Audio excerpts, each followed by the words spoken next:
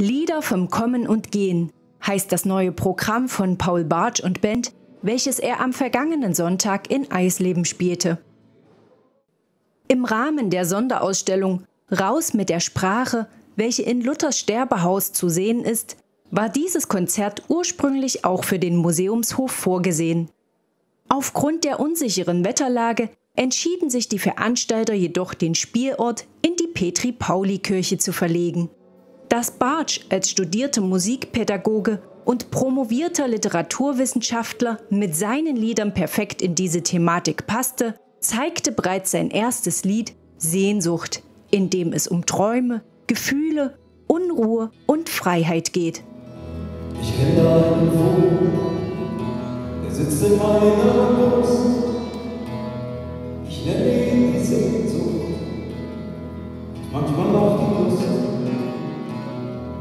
Ich kenne einen Vogel, der sitzt im Knochenhaus, schlägt sich an den Rippen wund und findet nicht hinaus.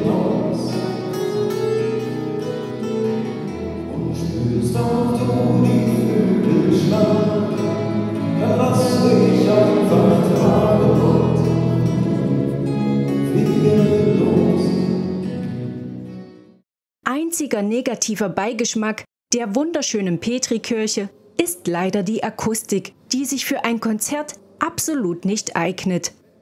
So wurde bereits nach dem zweiten Lied Kritik laut, die Texte kaum verstehen zu können.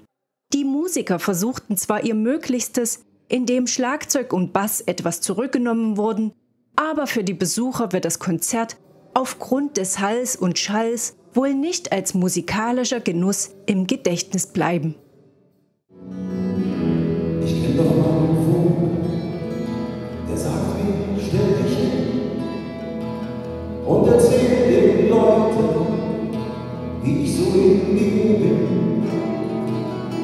Na gut, da steh ich also,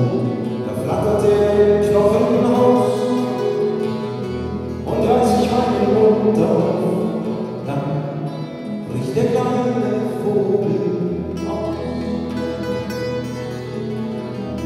Dann bricht der kleine Vogel